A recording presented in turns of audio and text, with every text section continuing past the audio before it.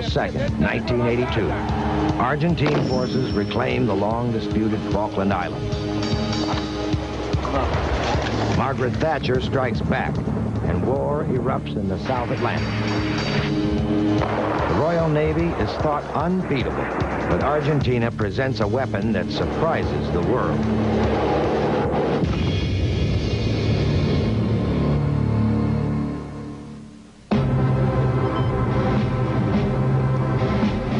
300 miles south of Buenos Aires, Argentina's elite Navy attack squadron prepares for a mission that will take them over the cold, dark waters of the South Atlantic. Comprised of only nine officers, Attack Squadron 2 is small by any standard. But equipped with their Dassault Super Étendard attack aircraft and its lethal amenity, the feared Exocet missile, these men represent a formidable adversary to even the most advanced navies of the world.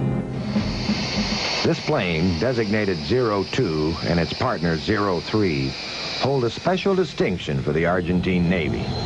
They are the same two planes that surprised the world during the Falklands War over a decade before.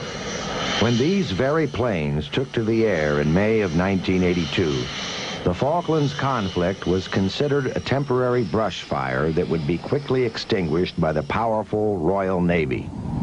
But as events unfolded, the underestimated Argentine Navy would wreak havoc on British shipping, and the word exocet would become an all too familiar term in homes throughout the United Kingdom. In 1982, a territorial dispute that had been brewing for almost two centuries suddenly erupted into war. On April 2nd, Argentine dictator General Leopoldo Galtieri initiates Operation Rosario, the invasion of the Falkland Islands. Vastly outnumbered by Argentine forces, the small contingent of Royal Marines is forced to surrender, and Port Stanley falls that evening. Attempting to muster a diplomatic solution, the U.S. Secretary of State, Al Haig, goes to London but as talks with Buenos Aires break down, a determined Margaret Thatcher dispatches the brunt of the Royal Navy to the distant waters of the South Atlantic.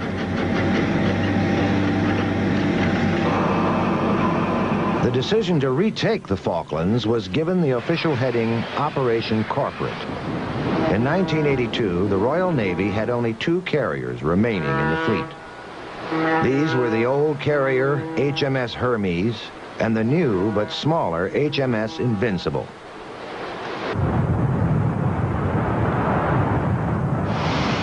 For England, the war in the Falklands was a logistical nightmare. Although the British did use Ascension Island as a stepping stone for supply and communication, the 8,000-mile journey southward stretched naval support lines to their absolute limits.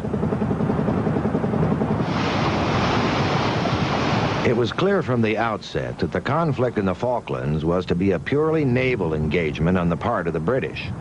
Air power was crucial to the operation, but with no airfields in the far South Atlantic, the British carrier force was to be the only real player in the impending air war.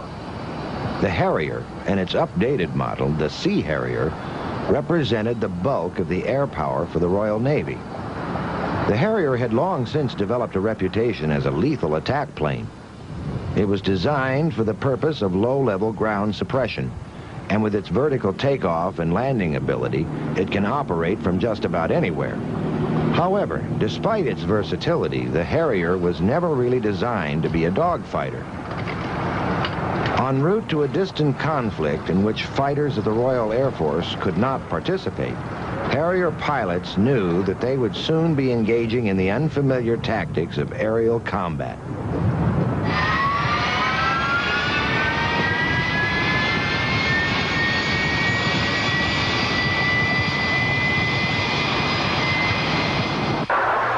On the 1st of May, British ships near Port Stanley come under attack by A-4 Skyhawks and Mirage Daggers of the Argentine Air Force. Using conventional bombs, the low-flying Argentine planes damage two British warships, the HMS Alacrity and the HMS Glamorgan.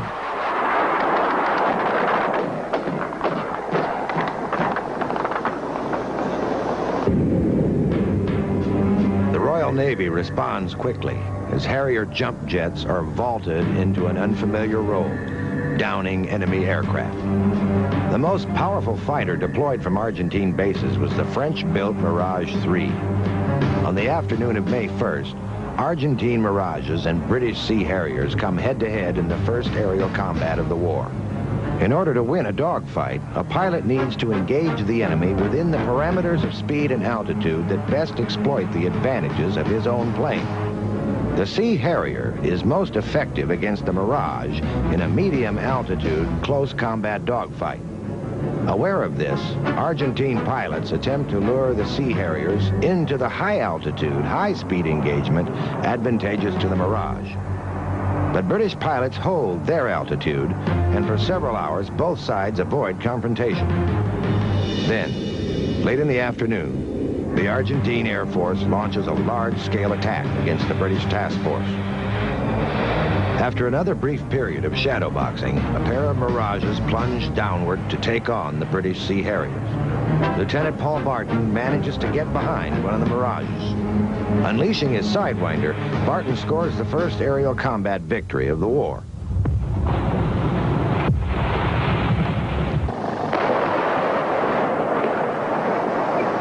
The Harrier was also used to effect in ground attack missions against entrenched Argentine troops and the airfield at Port Stanley.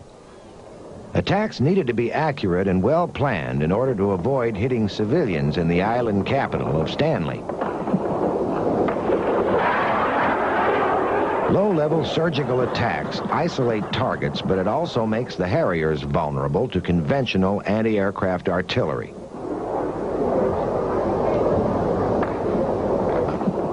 Over the course of the conflict, five Harriers are downed by Argentine gunners. Despite the protection of the Harriers, low-level attacks on British shipping was beginning to take a toll on both sides. However, the most stunning blow to the British task force would come not from low-flying bombers, but rather from an enemy they would never see. On May 4th, the British destroyer HMS Sheffield was on radar picket duty 25 miles west of the main task force. Responsible for the protection of the aircraft carrier Hermes, the men aboard the Sheffield had no idea what was about to hit them.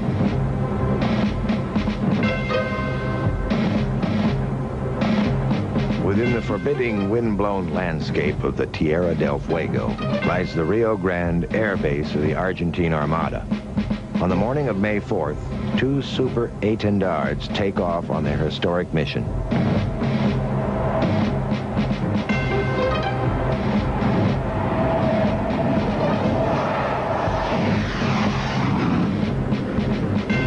Approaching from the south, the two planes sneak below British radar. 30 miles from the target, the two planes burst upward and fire the missile. The men aboard the Sheffield see something on the horizon hurtling towards them, but it is already too late.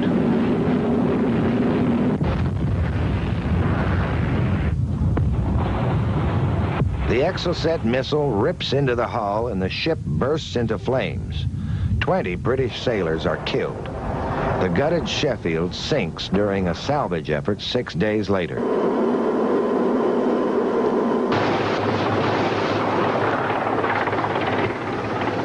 During the weeks to follow, British forces depend heavily on helicopters for the movement of troops and supplies. Although the loss of the Sheffield had been a blow to the Royal Navy, the Argentines were well aware that they need to destroy the British helicopter and aircraft carriers in order to win the war.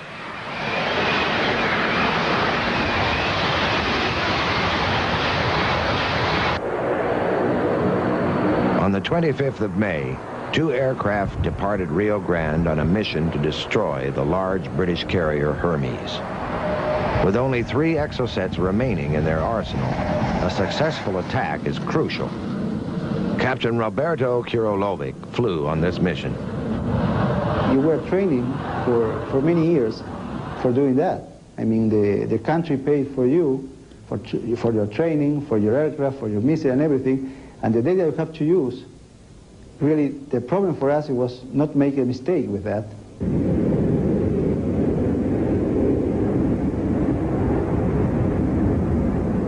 To surprise the British task force, the Argentines attack from an unexpected northerly direction. To make the long trip north of the task force, the pilots refuel from Argentine Air Force KC-130 tankers. After almost two hours in the air, Captain Curilovic and his wingman split up in preparation for the final assault.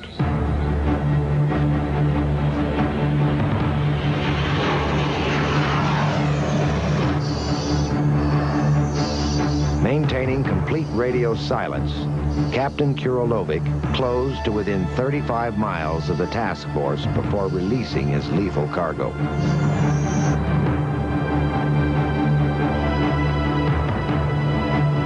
The ruthless Exocet missile is again coldly effective. The Atlantic conveyor sinks, and 12 British sailors are killed. Captain Curilovic recalls the attack with mixed emotions. After shooting the Exocet, what I thought it was, a, what a great weapon that we got. And after that, you think that they will impact the, uh, the ship, but you always think in the, on the ship, not on the people. Uh, I mean, you're looking for, for destroy the, the ship. The missile is designed for that, for neutralize or destroy or sink a ship, not for killing the people. But it's not a, the main idea. With only four aircraft and five missiles, Attack Squadron 2 dealt a tremendous blow to the powerful Royal Navy.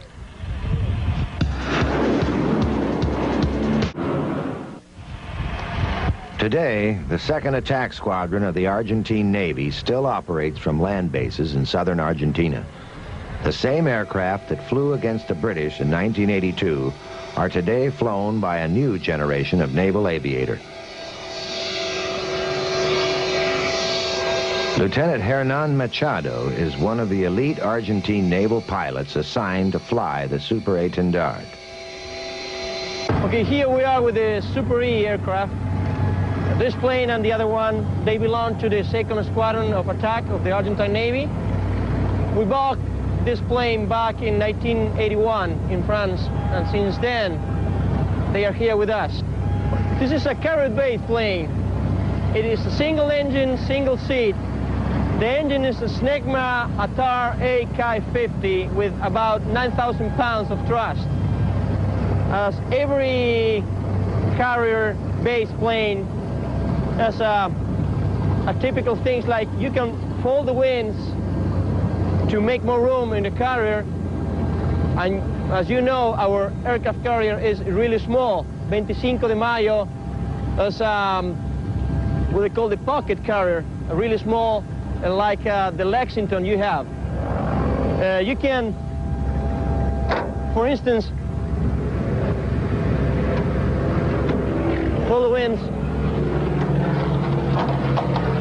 This way you can make more room in the carrier.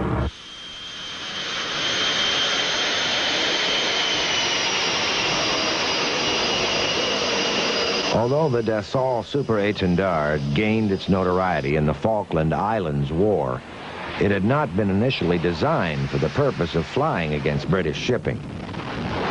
This is the French aircraft carrier Clemenceau. Of all industrialized Western nations, France is clearly the most independent, especially in the areas of foreign policy and defense. Outside the United States, France is the only country to have a large conventional aircraft carrier. Consistent with this independent defense policy, the French are even embarking on the ambitious construction of a new nuclear-powered carrier. The carrier-borne Dassault Super Étendard is the ultimate manifestation of French autonomy. With only the ocean as the limit, the Super Étendard can be deployed throughout the seas of the world, representing the strong arm of French foreign policy. Built completely in France, the Super Étendard represents the continuation of a proud line of aircraft built by the Dassault company. Although Dassault is now recognized as one of the world leaders in aircraft production, its lineage traces back to a humble beginning. In 1918, a young Frenchman named Marcel Bloch built his first airplane. After getting married, Bloch resigned to the less arduous career of building furniture. However, in the 30s, Bloch's passion for planes reawakened, and he soon began building aircraft like this MB-210 seaplane and the Bloch 152 fighter. But with war looming, the French put their faith in concrete, not airplanes. The mighty Maginot Line symbolized French foreign policy in the years following World War I. Hiding behind a wall of concrete fortresses connected by an underground chain of tunnels and railways, the French simply shut out their hostile eastern neighbor. Hitler's answer to the Maginot Line was simple. He would go around it. Belgium was the weak point exploited in this strategy. German bombers screamed down on Belgian cities, bombing both military and civilian targets. The Blitzkrieg style of attack depended on fleeing Belgian civilians as part of the military strategy. French and British soldiers sent to head off the advancing German army were greeted by a flood of civilians clogging the roadways.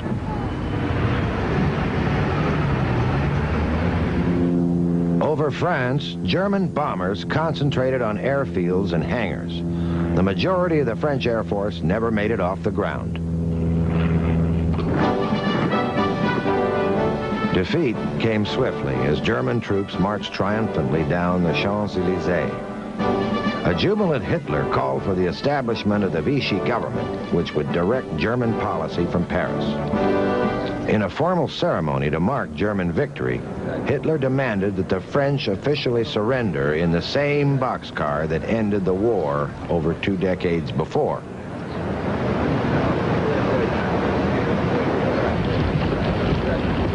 During German occupation, Marcel Bloch was arrested and sent to a concentration camp.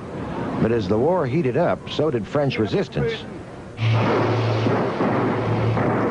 Marcel Bloch's brother Paul had evaded arrest and became a prominent figure in the French underground. His resistance code name was Char d'Assaut, French for tank.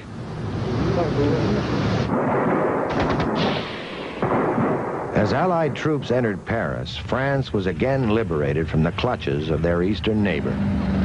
Although jubilant crowds warmly greeted the Allied soldiers, the events of World War II had cultivated an independent fervor that would henceforth dominate French policy. At war's end, Marcel Bloch took on the resistance code name of his brother. He was now Marcel Dassault. With his aircraft company in ruins, Dassault needed to rebuild from the ground up. In other countries, jet technology was already taking hold.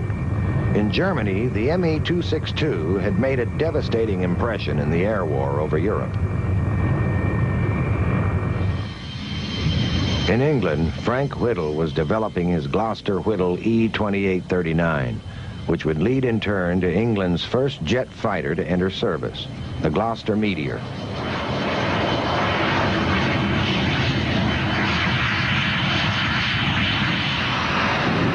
In America, Whittle's jet engine was modified to power an American jet fighter design, the Bell XP-59A.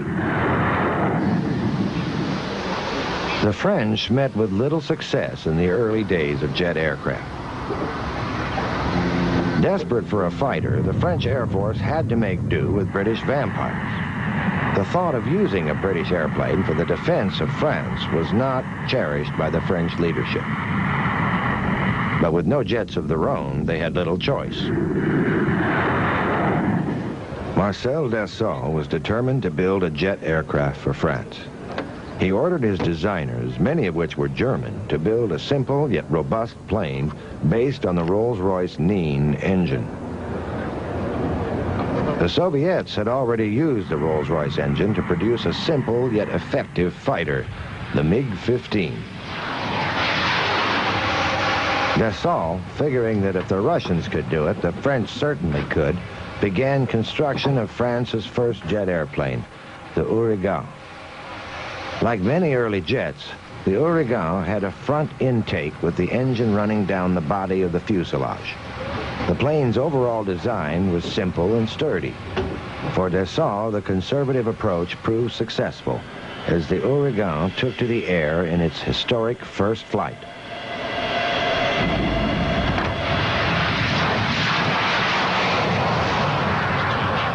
For Marcel Dassault, producing a jet fighter allowed him to develop strong ties with the French leadership.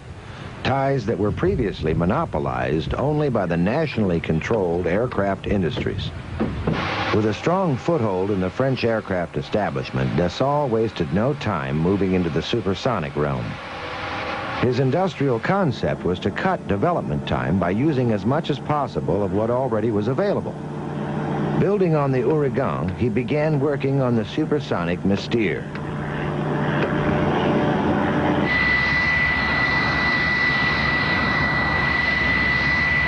The Mystère resembled the Ouragan in airframe, but with its swept wings and a larger engine, the Mystère took France beyond the speed of sound.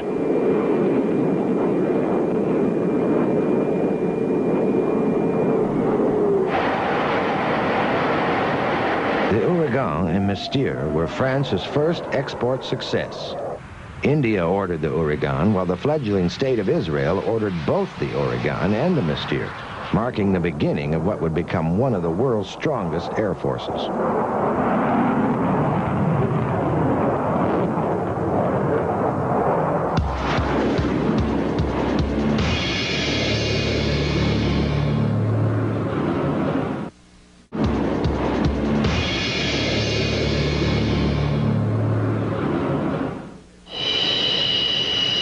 50s, Dassault continued putting up lighter versions of the Mystère in an effort to keep pace with the ever-expanding military technology of America, Britain, and the Soviets. The importance of maintaining a strong military, independent of NATO, reached a new level as U.S. relations with France became strained over the issue of colonial rule in Indochina. But it was not NATO that would drive the French from Indochina. In May of 1954, French troops became trapped in a northern region of Southeast Asia known as Dien Bien Phu. After days of heavy fighting, the French army surrendered, and that July, colonial rule officially came to an end. Unlike Britain, France had not yet accepted the steady dismantling of the colonies imposed by the domination of NATO. It was the prevailing Western attitude towards these liberation movements that would eventually cause France to leave NATO's military structure altogether. Under the leadership of Charles de Gaulle, France was now on her own. Marcel Dassault would be the key player in pioneering French aviation through the heady days of the Cold War. By the late 50s, the French Air Force had identified the need for a heavier attack aircraft to replace the aging Mystères. To fulfill this need, they ordered two prototypes of the Mystère 14, which by then had been rebaptized Étendard. The Air Force decided against the Étendard. However, by now, the Navy decided that it needed an all-French plane to replace the Vampire. Thus emerged the Étendard 4M, M designating naval. The first production Étendard flew in July of 1961, proving to be an effective strike aircraft, comparable to the Royal Navy's Buccaneer or the American A-4 Skyhawk. But as primarily a mid-50s design, the Étendard was quickly becoming obsolete, even before it was a decade old.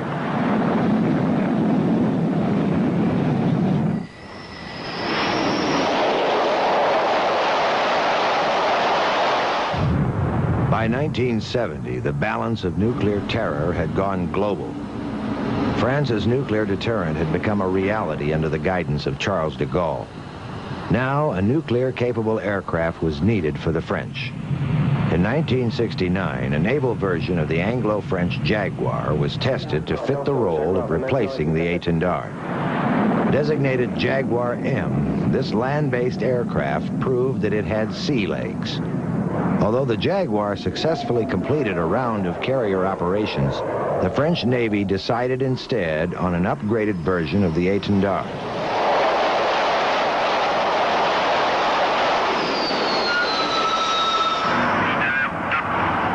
Extensive modification of the Étendard resulted in this, the Dassault Super Étendard. Although the Super Étendard shares the name of its predecessor, it is a 90% new aircraft. The fuselage was redesigned to accommodate the more powerful Atar AK-50 engine. Aerodynamic modifications allow the Super 8 Dard to take off at a much higher weight. However, the most important feature of the new plane was its sophisticated navigation and target recognition systems. The Super Étendard was fit to perform a variety of functions from attack to the more passive role of reconnaissance. Using the four underwing pylons to carry bombs, the Super Étendard proved also to be a formidable ground support platform. This is heads-up display footage from the cockpit of an Argentine Super Étendard engaged in ground attack exercises. As the pilot approaches his target, a vertical line can be seen rising up towards the crosshairs. When the two meet, the pilot fires.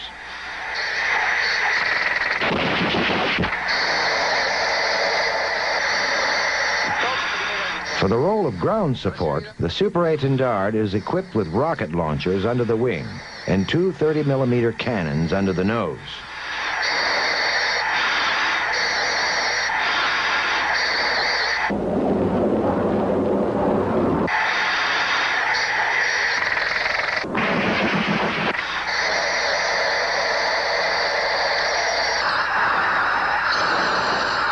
The Super Étendard can also be used in the aerial combat role, although it would probably stand little chance against a dedicated naval fighter like the American F-14 Tomcat. The Argentine Navy does occasionally practice dogfighting between its pilots.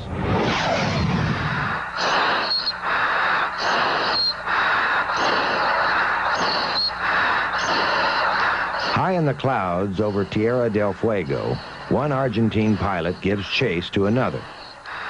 When the opponent becomes locked in the crosshairs, the pilot informs his squadron mate that he has shot him down. 02. Top, top, top, top, top, top, top. Despite its versatility, the major role of the Super Étendard is neither dogfighting nor ground support. The major role for this plane is to launch the Exocet missile. This plane is really stable, really fast, for low levels in the sea. The missile actually can be carried this point, and with a single missile with two planes, you can have a 99% of probability to sink a ship. The Exocet missile itself is a very large machine, and attaching the missile to the plane is no easy chore. First, the 30 millimeter cannons must be removed from under the nose of the aircraft. Then the fuel tank on the starboard wing needs to be removed to allow for the addition of a hardpoint, especially fitted to carry the missile.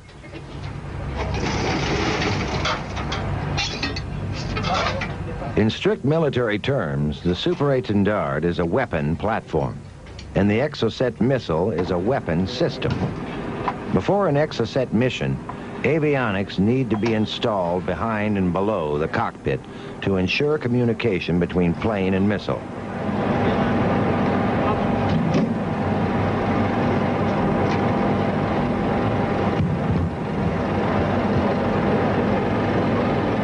The French company Aerospatiale named its missile after Exocetus, a genus of flying fish that skims along the surface of the water. The term missile understates the true hunting power of this destructive weapon. It is really more of a rocket-propelled kamikaze piloted by a computerized navigational system determined to find its target. If the ship moves, the missile will follow. If the missile is temporarily confused by a defensive spray of metal chaff by the ship, the navigational computer will reorient itself and continue searching for the closest target. Determined to make impact, the relentless missile will not stop until it either runs out of fuel or rips through the hull of a ship.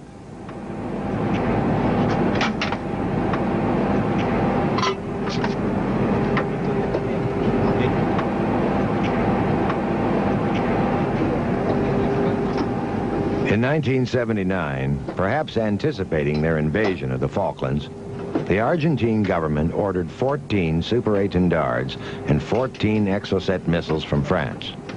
The following year, many of these Argentine ordnance men traveled to France to learn how to apply the missile to the aircraft. However, by 1982, only five of the airplanes and five missiles had been delivered to Argentina. When the war in the Falklands erupted, France withdrew all technical support and stopped all further deliveries of military hardware. On their own, the inexperienced ordnance officers and technicians were forced to resolve all outstanding problems relating to the aircraft and its missile.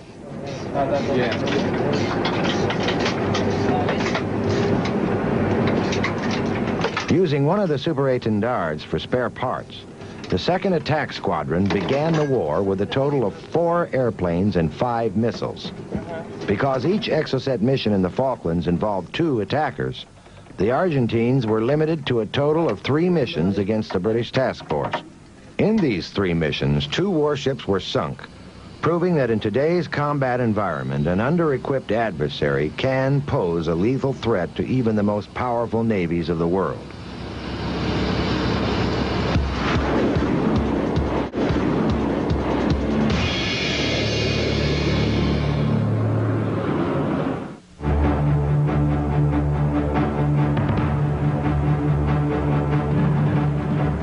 Launched anti-ship missile traces its roots back to before World War II. The Germans experimented with rocket-propelled anti-shipping bombs.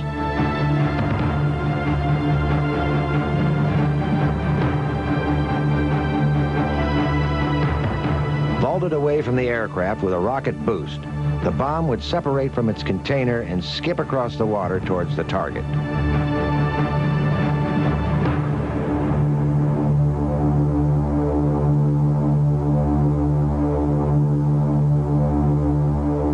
Close to the target, the bomb sinks, and the depth-activated fuse triggers the explosion.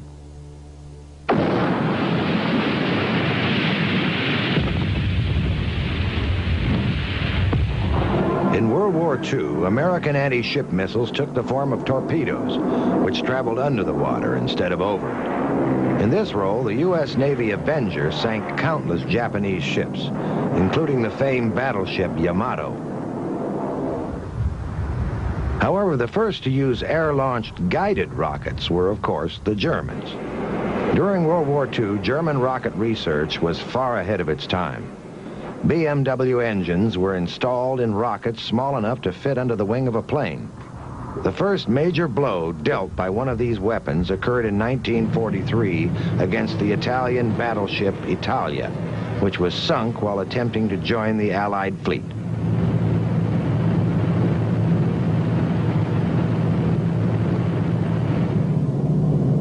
Heinkel and Dornier bombers provided the platform for continued German testing on radio-controlled rockets.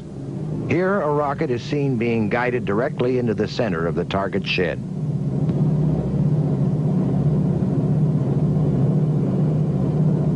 The most terrifying air-launched weapon used by the Germans involved the feared V-1 rocket. Equipped with its pulse jet, German Heinkel 111 bombers simply watched as the rocket streamed toward its target. In the course of the war, over 2,000 V-1s were launched, wreaking havoc on the cities of Belgium and France.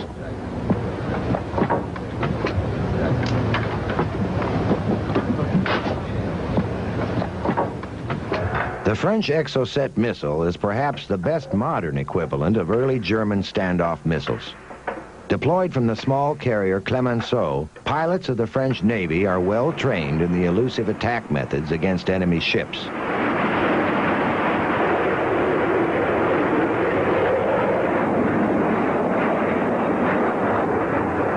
After sneaking below the enemy radar, the pilot surges upward in order to obtain a radar lock on the target. At this point, the enemy spots the incoming plane, but it is too late. The pilot has already transferred the target information to the missile and sent it on its way.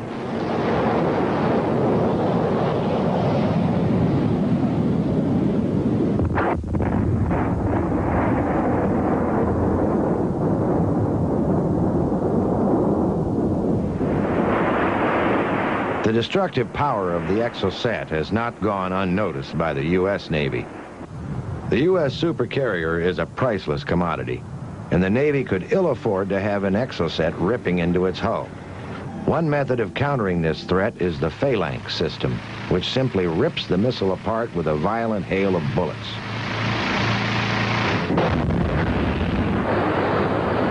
The U.S. Navy has its own standoff anti-shipping missile.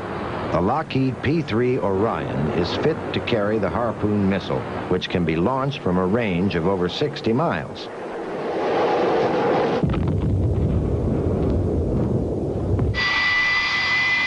But in this role, it is only the Super Étendard and its Exocet missile which have gained notoriety in combat.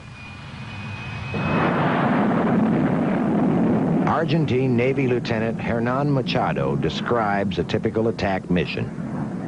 You go as slow as you can and about 105 from the, between 100 miles and 200 miles from the target.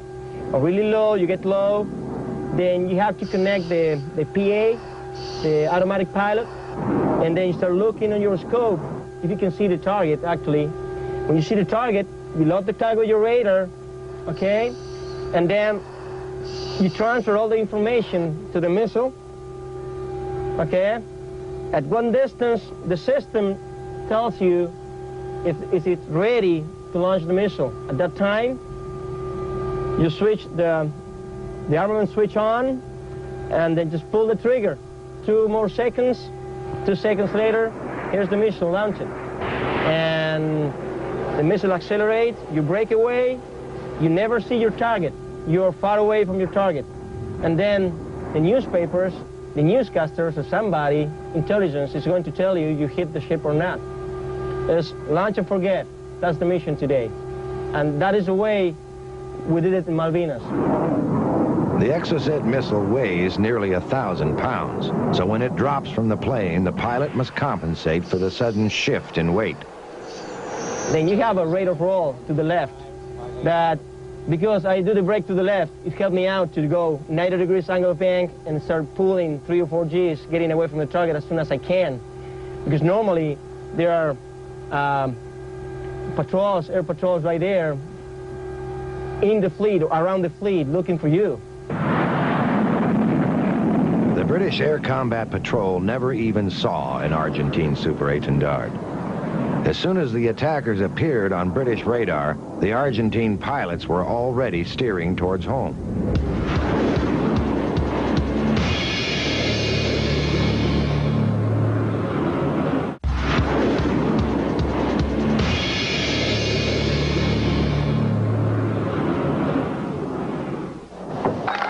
Super Étendard pilots, the Falklands War was a distant conflict that they would only see on the BBC News. By the time the British landed on the islands, the war was already over for Attack Squadron 2. All five of their Exocet missiles had been fired. Sinking two ships, they had done their part for the Argentine war effort. By early June, the British were making a final push towards Stanley. Retaking the Falklands was not as easy as previously expected. The forbidding South Atlantic winter and the harsh terrain of the islands complicated the British effort.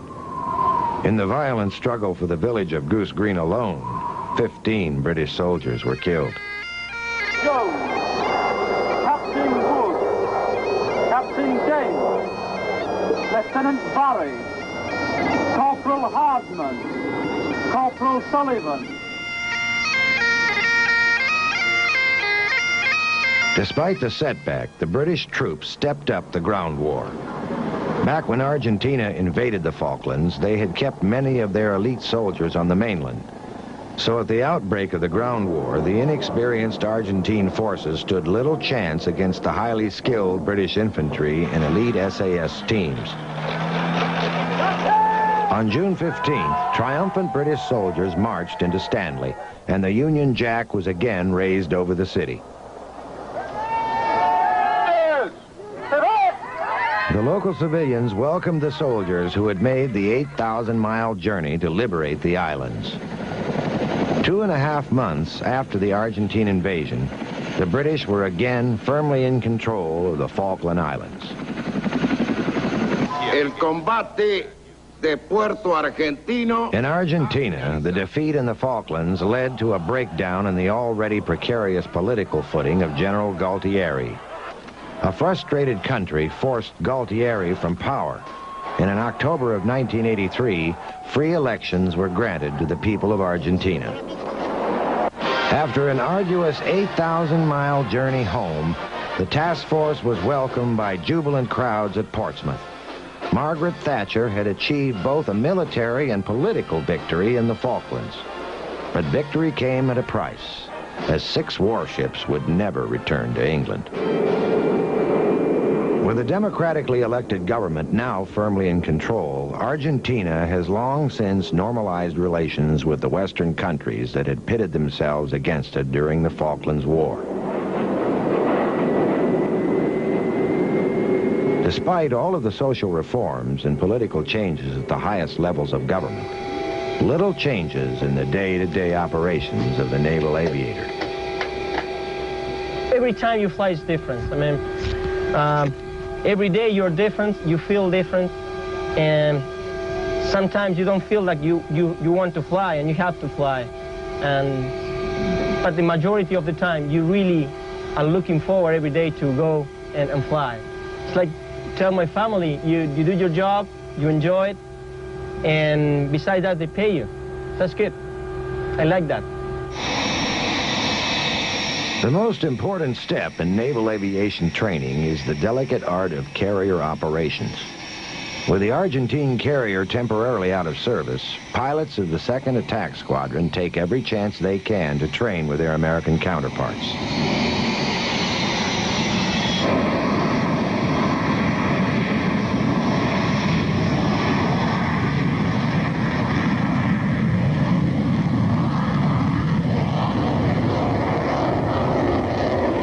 an American carrier rounds the tip of Tierra del Fuego, the Argentines use the opportunity to practice a few diplomatic touch and goes.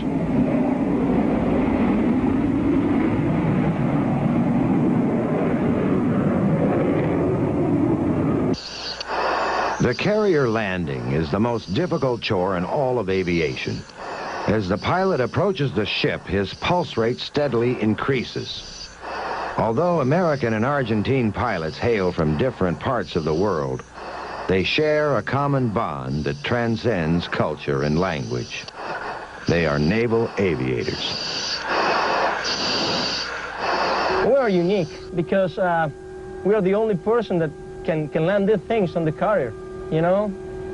It's, it's, it's, really, it's really tough. That makes the difference. We do the same thing that the Air Force do, plus we go to the carriers and that makes the difference.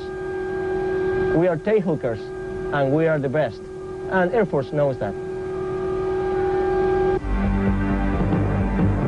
The Super Étendard is nearing the end of its operational career with the French Navy. Despite its advanced weapons systems, the Étendard's impending obsolescence is a reminder of how quickly defense requirements change in an era of mounting technological advancements.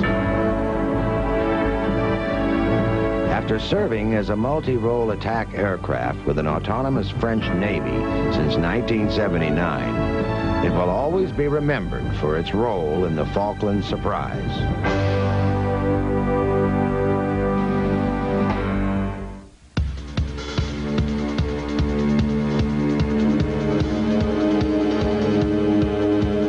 Coming up next, find yourself in the cockpit of a long-range anti-submarine aircraft. Then the P-51 Mustang hastens the end of German domination during World War II as our high-flying wings marathon continues on the Discovery Channel.